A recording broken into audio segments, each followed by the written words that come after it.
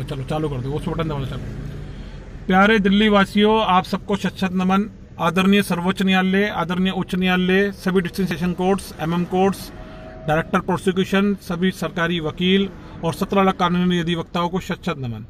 सभी दिल्ली के नागरिक, भारत के नागरिकों को शत नमन। आज इस शब्दावली के माध्यम से 22 बारह बाईस को मैं आपसे साझा करना चाहता हूँ कि बहुत बड़े स्तर के ऊपर, मैंने आपको पहले भी कई वीडियो में बात ज़ाहिर करी है, साझा करना चाहता हूँ कि जो प्राइवेट हॉस्पिटल है खासतौर से सुपर स्पेशलिटी हॉस्पिटल है, गली मोहल्ले में खुले हुए जो नर्सिंग होम्स हैं, बहुत बड़े स्तर के ऊपर ये देखने के अंदर आ रहा है कि वहाँ पे बहुत बड़े स्तर के ऊपर मेडिकल की नेग्लिजेंस होती है और जब वो नेग्लिजेंस के अंदर कोई बंदा क्लैप्स हो जाता है या ऐसा कोई बॉडी का ऑर्गन फेल हो जाता है, तब ये उसको जो है डेलीबरेटली उसको कंट्रोल करते हैं मैनेज करते हैं और उसके रिकॉर्ड्स को जो मैनिपुलेट करते हैं और जनरली इनके खिलाफ पुलिस सीधा डायरेक्ट एफआईआर नहीं कर सकती, जो कि ऑनरेबल सुप्रीम कोर्ट की जजमेंट है, Lalita Kumari versus UP and others की। जिसके अंदर से साफ़ साफ़ कहा है कि कोग्निकल ऑफेंस हो और प्रिलिमिनरी इंक्वायरी होनी चाहिए। मैं आज आपसे पूछना चाहता हूँ सारे दिल्ली वासियों से, सभी लॉ एजेंसी से, कि ये जो दिल्ली मेडिकल काउंसिल से रिपोर्ट मंगाते हैं, इसको दस दिन में, हफ़्ते में, पंद्रह दिन में क्यों नहीं करते? क्यों सालों साल निकाल देते हैं? और सालों साल के बाद सीडीआर जीपीएस फिंगरप्रिंट्स लेबोरेटरी के टेस्ट जो उनके नर्सेज होते हैं डॉक्टर होते हैं, क्या वो एक्यूरेट स्टेटमेंट दे सकते हैं?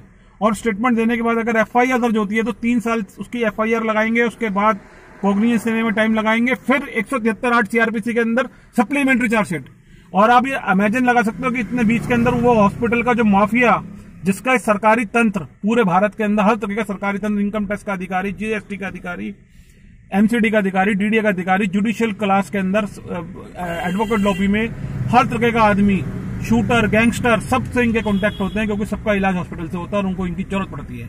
और दूसरी चीज़, राजनीतिक तंत्र।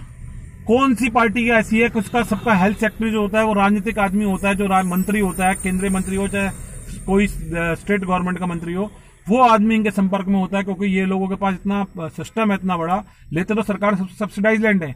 लेकिन जनता के साथ सीधा सीधा छल होता है, धोखा होता है। हॉस्पिटल के अंदर ये कैमरे के अंदर इनके आदमी देख लेते हैं कौन से आदमी का इंश्योरेंस है और कौन से आदमी का मेडिकल क्लेम है, और उसके पास जेब में कितने पैसे हैं। अगर वो बीमारी दो दिन में सोल हो सकती है, जब उसको पाँच दिन, दस दिन खींचते हैं और इसी खींचने के अंदर कई बार जो है ऐसा अटेम्प्ट होता है कि नेग्लिजेंस की वजह से बंदा मर जाता है। बॉडी का ऑर्गन फलता आज मेरे साथियों, इसके बहुत सारे सबूत हैं। धोनी न्यायालय में केस चल रहे हैं, लगभग सभी जगह चल रहे हैं। बहुत शर्म की बात है। आज जिन लोगों के ऊपर विश्वास है, जिनको भगवान का दर्जा दिया जाता है इस देश के अंदर, धरती के अंदर जो है एक जज साहब को और एक डॉक्टर को भगवान का दर्जा दिया जाता है। आज कहीं ना कहीं भगवान के उस दरवाजे पे एक तो वो भगवान है जिसके बारे में मैंने आज तक सिर्फ़ सुना है और मंदिरों में, तस्वीरों में देखा है, जहाँ से मेरी आस्था जुड़ी हुई है। और एक भगवान मैंने ये जो हॉस्पिटल में के बारे में बारे में देखा है और कई बार सुनने में आता है, डॉक्टर ने बचा लिया। यहाँ मुझे आज ये लगता है कि यहीं इन्हीं देवताओं के बीच में, इन्हीं भगवानों के बीच में कुछ लोग चंडाल है। शैतान है और मैं ये बात पूरी जिम्मेवारी से कह रहा हूँ, मुझे कोई डर नहीं है, क्योंकि ये लोग अपने प्रोफेशन के साथ समझौता करते हैं, व्यवसाय करते हैं मेडिकल सुरक्षा की आड़ में, पैसों के लिए, लाखों करोड़ों रुपए के लिए। मैं आदरणीय मोदी जी से कहूँगा कि अपनी ईडी की टीम और सीबीआई की टीम का रुख एक बार इनकी तरफ़ ज़रूर करें, कि इनकी संपत्ति और इनके रिश्तेदारों की संपत्तियों की जाँच हो। इनको सरकारी एजेंसी से फेवर मिलता है और विक्टिम के ऊपर इतना दबाव बनाया जाता है कि विक्टिम की सुरक्षा कोई नहीं है इस देश के अंदर। जो विक्टिम पैदा होने से लेकर मरने तक हर तरीके का टैक्स सरकार को देता है। पेट्रोल गाड़ी चलाता है तो टैक्स देता है। अगर कोर्ट में जाएगा तो उसको समोसा खाने पे टैक्स देना है, चाय पीने पे टैक्स देना है, उसको कागज़ टाइप कराना है फोटोशूट कराना, हर जगह टैक्स जाता है।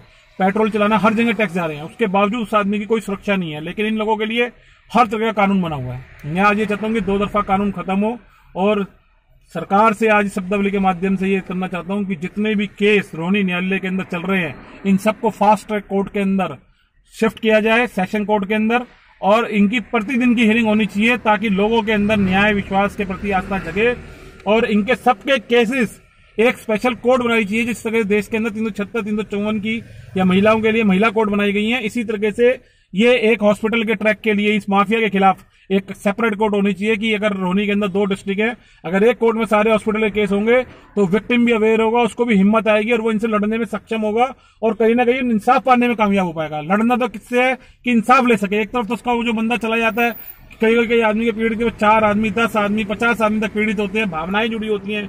एक आदमी को इनकी नेग्लिजेंस छीन देंगे पैसा को लालच छीन लेता है। तो इनसे लड़ने के लिए काउंसलिंग होनी चाहिए विक्टिम की भी।